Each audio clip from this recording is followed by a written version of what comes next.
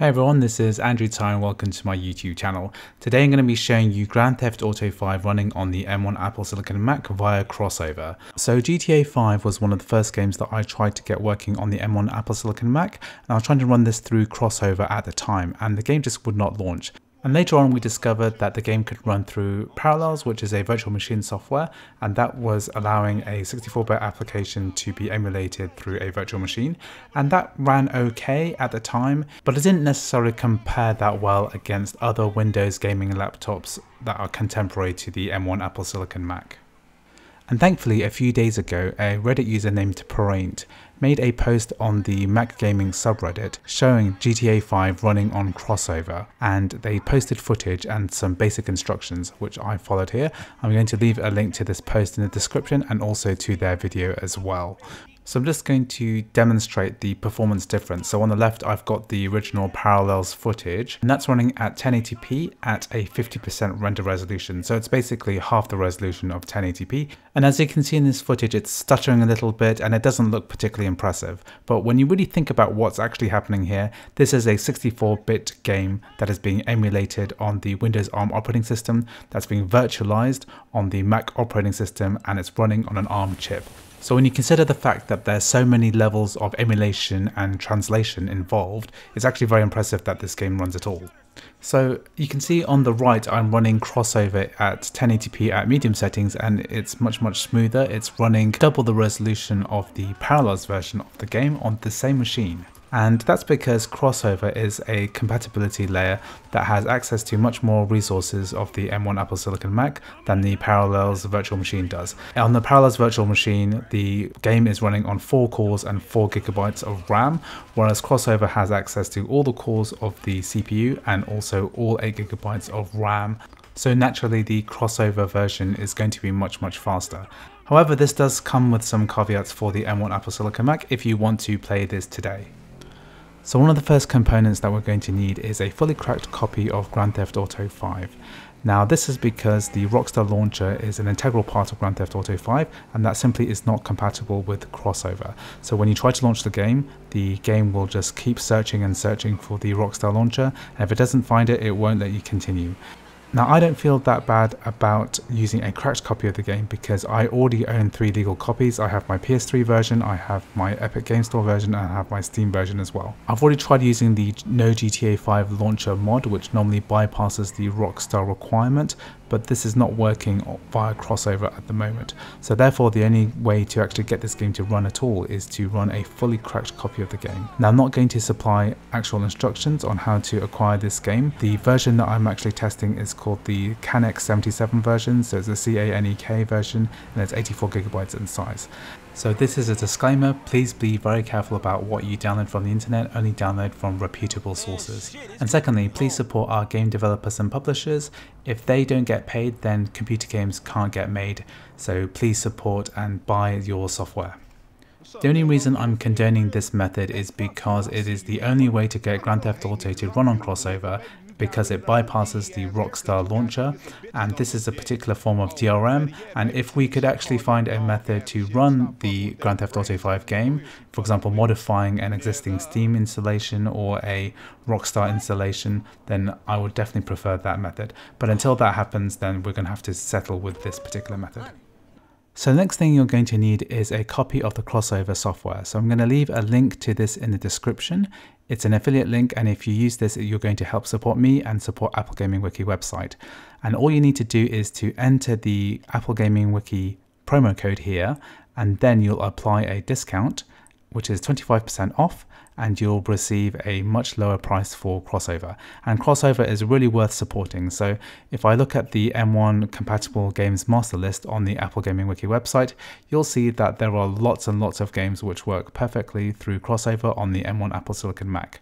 Codeweavers, the company which maintains the software, also maintain the Wine project and also the Proton project. I'm going to leave a link to this in the description.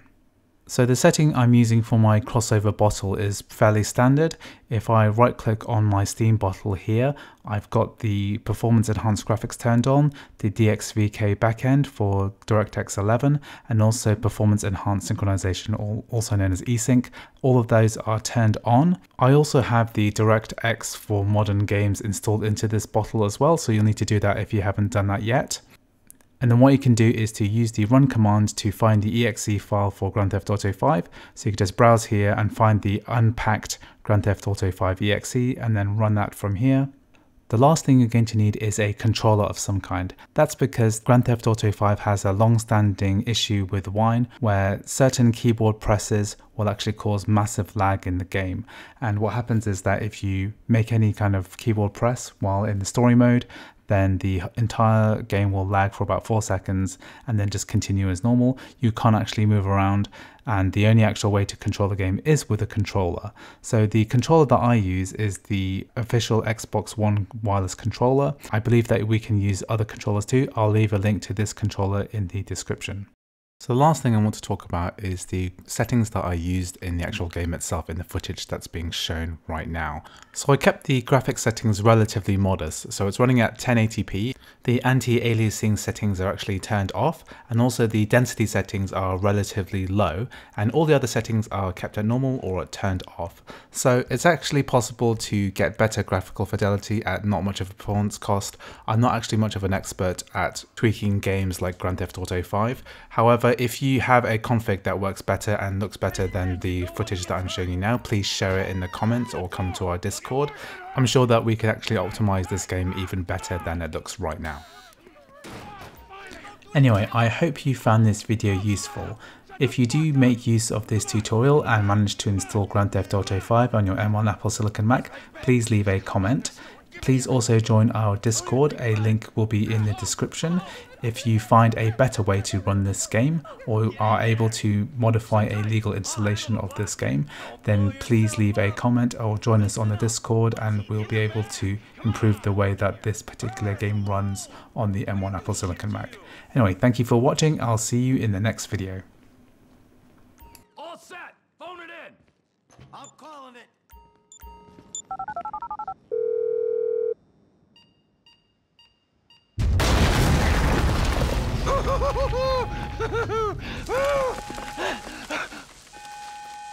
right, we gonna do this? Huh? Show me the money! Slow and steady, T. Slow and steady.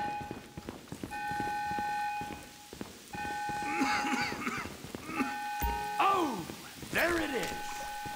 Remember, just the non-sequential bills. Oh, there's enough here for us all to enjoy. Depends on how you look at it. We're done here. Let's go. Coming out, B. Give it up. Ah. I got him. Ah. I saw your face. I'll remember you. You forget a thousand things every day. How about you make sure this is one of them? I've seen his eyes. He's crazy. No one's crazy. I think.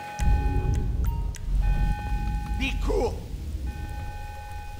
Fuck!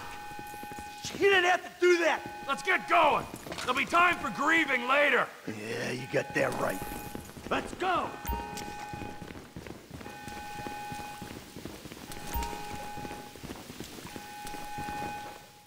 I'm setting the charges.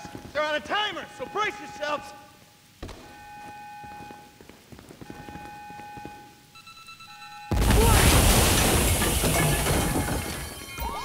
Fuck, you hear that? Sirens! Fuck the cops! T, hit the shutter switch! What's this? Local resistance? It ain't supposed to go down like this. It never is! Come on, go! Come on, guys! Back the fuck down! Move! Move! Move! If I'm gonna die, I'm gonna die breathing right! Drop it, prick! Don't be as dumb as you look! I ain't laying down for them! Who snitched? They answered the wrong call! We bring it to them! What the fuck is this? Get out of the way! Pass forward! Get out of here! Get out of the way or suffer the consequence! Let's get out of here. Can't be many more cops in this town! This is fucked, man! The thing is blown! I got my share!